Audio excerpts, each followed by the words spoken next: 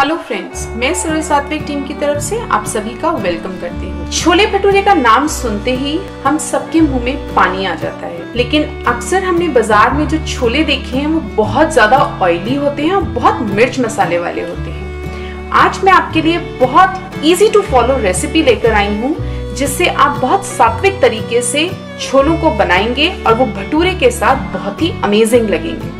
आप मेरी इस रेसिपी को एंड तक ज़रूर देखिए, जिससे कि इस बार अपने मेहमानों को आप त्योहार पे इसी तरह छोले भटूरे बना करके खिलाएँ। अगर आप मेरे चैनल में फ़र्स्ट टाइम आए हैं तो इसको सब्सक्राइब करें और बेल आइकन दबाना ना भूलें तो यहाँ पे छोले बनाने के लिए मैंने छोलों को दो कप मैंने छोले लिए हैं और मैंने इनको अच्छे से सोक कर दिया है मिनिमम पाँच से छह घंटे के लिए आप सोक करें और यहाँ पे आपको ध्यान देना है कि आपको बहुत मोटा चना नहीं लेना है। जो डॉलर चना आता है, वो आपको नहीं लेना है। आपको मीडियम साइज़ का चना लेना है। तो इसको मैंने अच्छे से भिगो दिया है। मैंने करीब दो कप छोले लिए हैं और ये फूल के काफ़ी ज़्यादा क्वांटिटी में हो गए हैं, जैसा कि आप देख सकते हैं। तो आइए अब हम इनको पहले प्रेशर कुक करते हैं। यहाँ पर मैंने कुकर लिया है और मैंने आप देख सकते हैं, छोलों में से पानी को अच्छे से स्ट्रेन कर लिया है।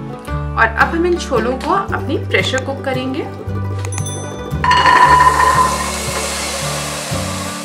यहाँ पे मैं आपको एक चीज़ बताना चाहूँगी कि आप छोलों को या किसी भी दाल या फिर लोबिया, राजमा को आप जितना सोक करेंगे, उतना ज़्यादा उसके न्यूट्रिएंट्स आपकी बॉडी में इजीली एब्जॉर्ब होंगे। आजकल हर रेसिपी शॉर्टकट से तो सब बताते हैं लेकिन हम कहीं ना कहीं अपनी हेल्थ के साथ कॉम्प्रोमाइज करते हैं क्योंकि हमें पूरे पोषक तत्व उन चीज़ों के नहीं मिल पाते हैं। तो यहाँ पे मैं डाल रही हूँ पानी।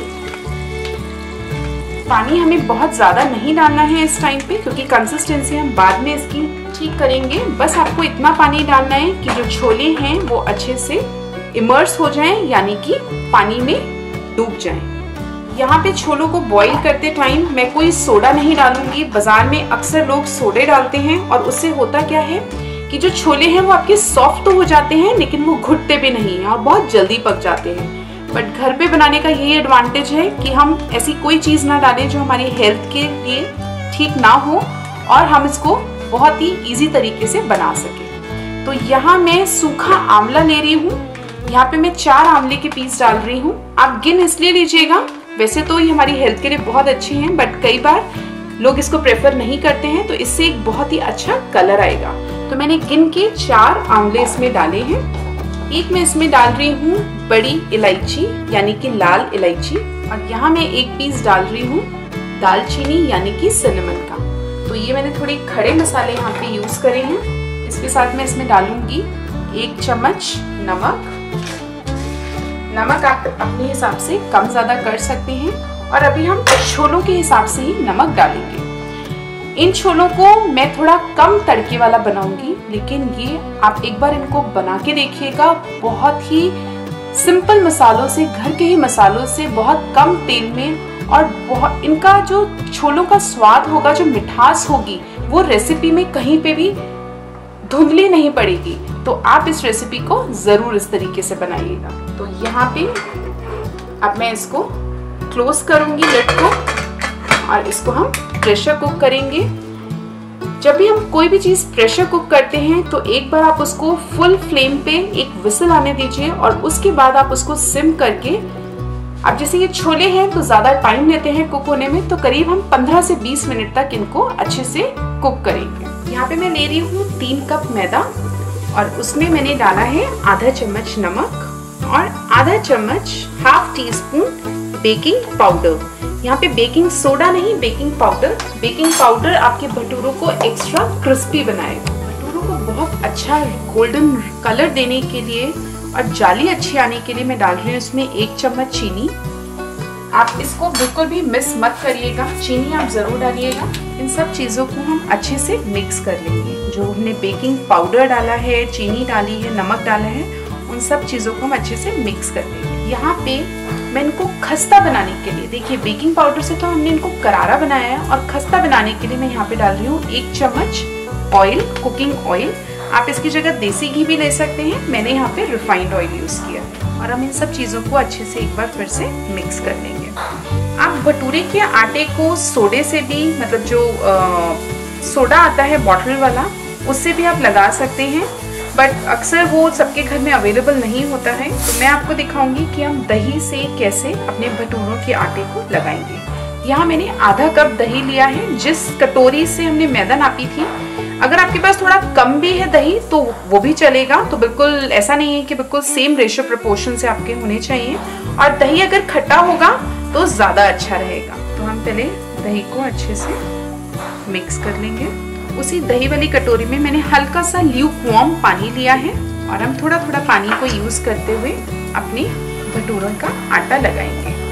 ये भटूरे इतने ज़्यादा मुलायम और इतने स्वादिष्ट बनते हैं, इतने क्रिस्प बनते हैं कि आप दो की जगह तीन खाना पसंद करेंगे और घर के बने हुए हैं तो सुपर लाइट भी हैं। वरना बाज़ार के तो एक खा के ही बहुत ज़्यादा हैवी सा फील होता है। यहाँ पे मैं कुछ ड्रॉप्स ऑयल के ले रही हूँ। और इसको हम अच्छे से कोट कर देंगे। और हम इसको एक बार लोच लगाएँगे।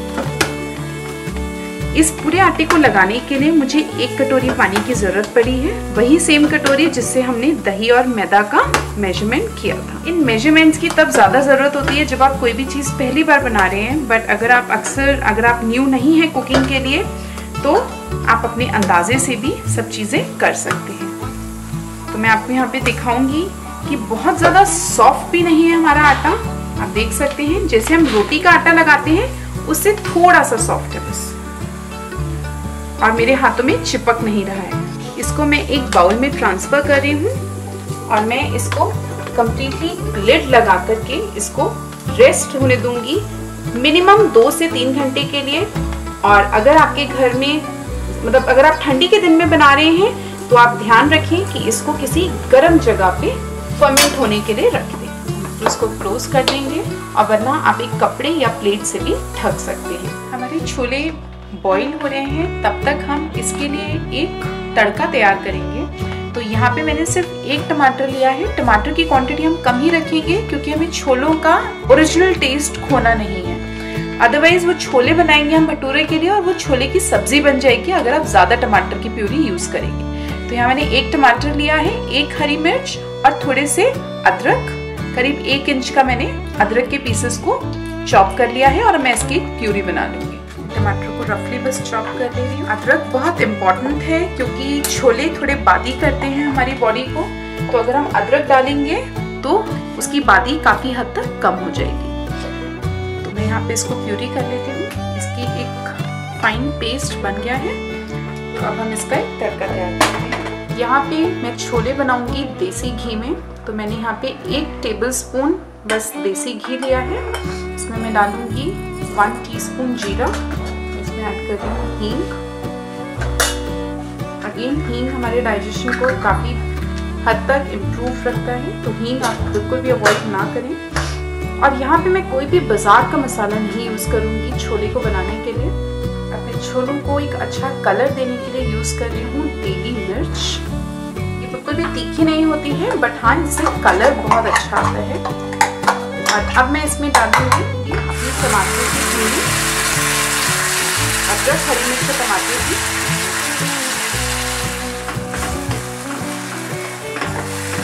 अब इसी के साथ हम अपने और भी मसाले इसमें ऐड करेंगे।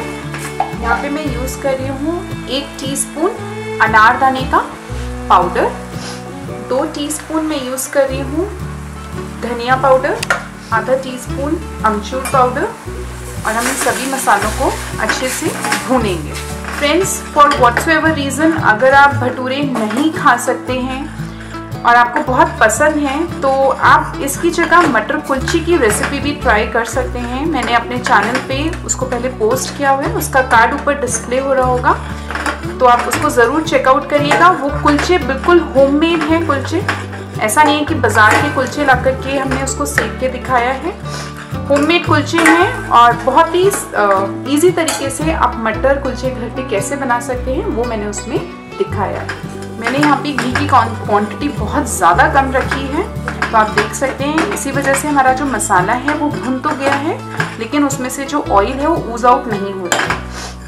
हमारा मसाला अच्छे से भुन गया है। अब जिस जार में हमने टमाटर प्यूरी बनाई थी, उसमें मैंने पानी डाल के थोड़ा सा इसमें डाल लिया है। और अब हम सभी चीज़ों को अच्छे से मिक्स कर लेंगे। यहाँ पे मैं आपको एक टिप देना चाहूँगी, जब भी हम छोले बॉईल करते हैं तो उनको हमें ठंडा नहीं करना है। जैसे हमारे छोले बॉईल होते हैं और उनका प्रेशर रिलीज़ होता है, उसी टाइम हम उसको खोल के हल्का सा मैश कर लेंगे। तो मैं भी आपको दिखाऊँगी हमें किस तरह से मैश करने हैं, जिससे कि पानी और छोले हमारे अलग अलग ना हो और बहुत ज़्यादा वो ड्राइड भी ना हो। तो मैं इसको शिफ्ट करूँगी दूसरे फ्लेम पे। इसका प्रेशर रिलीज़ हो गया है। मैं इसमें से जो हमने आंवले डाले थे, उनको सबसे पहले हम अलग कर लेंगे आप चाहे तो उनको हटा भी सकते हैं, रहने भी दे सकते हैं बट बच्चे नहीं प्रेफर करते हैं तो मैं इसमें से बड़ी इलायची और आंवली अलग कर लूँगी। देखिए कितना अच्छा कलर आया है। अननेसेसरी जो चाय पत्ती डाल के हम कलर लेकर आते हैं, पहले उसकी पोटली बनाओ या टी बैग्स लाओ, और वो इतना हेल्दी भी नहीं है। और कुछ लोग जो चाय को अवॉइड करते हैं, वो इस मेथड को नहीं फॉलो कर सकते छोलों को कलर देने के लिए। तो आंवला डाल के बहुत ही अच्छा कलर आ जाता है। हमने अपने दालचीनी आंवला और बड़ी इलायची सब निकाल लिया है। मैं आपको तोड़ के भी दिखाती हूँ। अगर आपके भीगे हुए हैं तो आप देख सकते हैं कितने सॉफ्ट हमारी ये छोले पक गए हैं। वो भी बिना सोडे से और बस 15 से 20 मिनट हमने इनको स्लो फ्लेम पे कुक किया अब मैं इसको बहुत हल्के हाथ से आप इसको हल्का हल्का दबा दीजिए। बहुत ज़्यादा इनको मैश नहीं करना है, बस हल्के हाथ से और अगर आप इसको गर्म में नहीं करेंगे तो होगा क्या कि जो आपके छोले हैं वो मठरा जाएँगे? मतलब यानी कि वो थोड़े टाइट से हो जाएँगे और ये प्रोसेस इजीली नहीं हो पाएगा। और फिर आपका छोले का पानी और ग्रेवी अलग और छोले अलग दिखेंगे। तो अब मैं कढ़ाई में छोले अपने निकाल लेती हूँ। तो बहुत ध्यान से हम इसमें अपने छोलों को ऐड कर देंगे आज मैं इन छोले भटूरों के साथ मेरे को कौन सी चीज़ पसंद है वो मैं आज आपको बताऊँगी। तो आप मेरे साथ इस रेसिपी में बने रहिए और हो सकता है अगर आप उसको ट्राई करें तो वो भी आपकी फेवरेट बन जाए। तो अब आप देखिए, अब हम इसको अच्छे से चला लेंगे और इसको अब हम पकाएँगे 15 से 10 से 15 मिनट तक, जिससे कि जो भी मसाला है वो छोलों में अच्छे से इनकॉर्पोरेट हो जाए। और नमक हमने पहले छोलों में डाल दिया था तो आप इसको चेक करके कम ज़्यादा अपने टेस्ट के अनुसार कर सकते हैं। इसको हम कवर कर देंगे और स्लो फ्लेम पे कुक होने देंगे। और एंड में अभी मैं इसको दिखाऊँगी, जब हमारी अच्छे से 10 मिनट कुक हो जाएँगे, तब हम इसमें और चीज़ें क्या ऐड करेंगे तो देख सकते हैं 10 मिनट हो गए हैं हमारे छोलों को अच्छे से पकते हुए बॉईल होते हुए। आप देख सकते हैं, बाज़ार वाला बिल्कुल भी ऑयल नहीं है इसमें। और अब हम बिल्कुल इसमें एंड में डालेंगे थोड़ा सा गरम मसाला। यही रीज़न है कि मैंने पहले लौंग और काली मिर्च साबुत नहीं ऐड किया। और अब हम इसको फिनिश करेंगे खूब सारे हरे धनिए के साथ। बहुत ही लाजवाब और बहुत ही टेस्टी लग रहा है ये। तो जब तक अब हमारे छोले बिल्कुल तैयार हो गए हैं और दूसरी गैस पे मैंने रख दिया है ऑयल जिसमें हम तलेंगे अपने भटूरे। देखिए, बिल्कुल जायकेदार और बहुत ही कम इंग्रेडिएंट्स कम मसालों से बाज़ार का कोई मसाला नहीं है। बहुत सात्विक तरीके से हमने ये छोले बनाए हैं। फ्लेम करती हूँ ऑफ़ और अब हम अपने फ्राई करते हैं भटूरे। यहाँ पे आप देख सकते हैं, जो हमने मैदा लगाई थी, वो थोड़ी सी फ्लफी हो गई है। उसमें क्योंकि खमीर उठा है, अब हम थोड़ा सा ऑयल का हाथ लेंगे। मैं आपको दिखाती हूँ। आप कभी भी, मैं आपको इसमें एक चीज़ बताऊँगी कि आप कभी भी सूखे मैदा का यूज़ बिल्कुल ना करें इसमें। उससे होता क्या है, जो आपको ऑयल है, वो बिल्कुल खराब हो जाता है। तो आप थोड़ा सा बस ऑयल ले लें, अपने हाथों में। पहले अपने हाथों को चिकना कर लें और उसके बाद मैदा लें और उसको अच्छे से राउंड कर दें। आपको ये ध्यान रखना है कि जोड़ आपका नहीं आना चाहिए लोई में। जो हलवाई होते हैं, उनकी मैदा तो बहुत ज़्यादा लूज होती है और वो हाथ से पटक पटक के बनाते हैं बट उतने एक्सपर्ट तो हम नहीं हैं। तो यहाँ पे मैं आपको चकले बेलन से दिखाऊँगी कि हम कैसे परफेक्ट भटूरे बना सकते हैं। तो हम थोड़ी सा ऑयल लेंगे और चकले पे लगाएँगे। मैं फिर कह रही हूँ, आटा कितना भी लूज हो, लेकिन आप सूखे मैदा या आटे का बिल्कुल भी यूज़ ना करें। आप थोड़ा सा आटा थोड़ा सा ऑयल अपने बेलन पे भी लगा लीजिए। आप बेलन पे लगा लेंगे तो ये आपका जो मैदा है वो बिल्कुल भी चिपकेगी नहीं। मैदा जब खमीर उठ जाता है तो वो वापस से खिंच जाती है। जैसे मैं, आप देख सकते हैं, मैं उसको उठा रही हूँ तो वापस से वो अपनी शेप को फॉर्म कर रही है। तो आपको ध्यान रखना है कि आपको एक ही बार में ज़्यादा इसको उठाना नहीं है और इसको इवनली बेलना है। मतलब किनारे और जो बीच का पोर्शन है वो इक्वली आप इसको बेलें। और हमारा ऑयल अब अच्छे से गर्म हो गया है और जब हमें इसको डालना है तो हमें खींचते हुए थोड़ा डालना देखिए, बहुत इजी है इसको बनाना और बहुत ही फूले फूले खस्ता करारे जो भटूरे हैं वो तैयार हो जाएँगे। मैं यहाँ पे भटूरों का साइज़ थोड़ा छोटा रख रही हूँ, क्योंकि मैं बहुत ज़्यादा ऑयल का नहीं यूज़ करना चाहती हूँ। डीप फ्राइंग के लिए देखिए, एक ही बार में दो सेकंड में ही भटूरा बहुत अच्छे से फूल के तैयार है। जब तक वो हमारा सीख रहा है, मैं आपको एक और भटूरा बेल के दिखाती हूँ।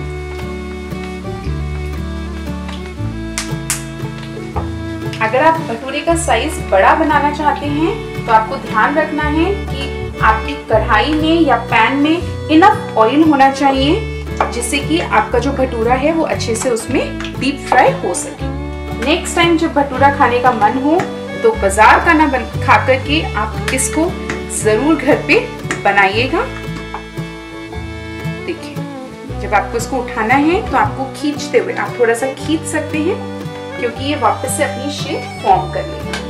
मैं एक भटूरे को निकालूँगी और दूसरे को डाल दूँगी जब हमें डालना है भटूरों को तो हमें फुल फ्लेम पे उसको डालना है। देखिए, मैंने उसमें स्पैचुला नहीं लगाया है और ये भटूरा भी बिल्कुल हमारा गुब्बारे की तरह फूल गया है। आपने बहुत सी रेसिपीज़ देखी होंगी, उसमें वो काफ़ी टिप्स एंड ट्रिक्स बताते हैं भटूरे को फुलाने के लिए। बट अगर आपने भटूरे को बेला इक्वल है मतलब बीच और किनारे उसके इक्वली बेले हैं तो आपका जो भटूरा है, वो परफेक्टली फूल के तैयार हो जाएगा। आप इसको कितना क्रिस्प पसंद करते हैं, वो कम्प्लीटली आपकी चॉइस है। तो मैं अब आपको इसको सर्व करके दिखाती हूँ। फूले फूले भटूरे बिल्कुल तैयार हैं। यहाँ पे मैं हरी मिर्ची लगा रही हूँ। कई लोगों को तीखा और स्पाइसी बहुत पसंद है। फ्रेंड्स आई होप आपको आज की सिंपल और यमी रेसिपी ज़रूर पसंद आई होगी। तो नेक्स्ट टाइम आप छोले भटूरे बनाएँ तो इस रेसिपी को फॉलो करना ना भूलिएगा।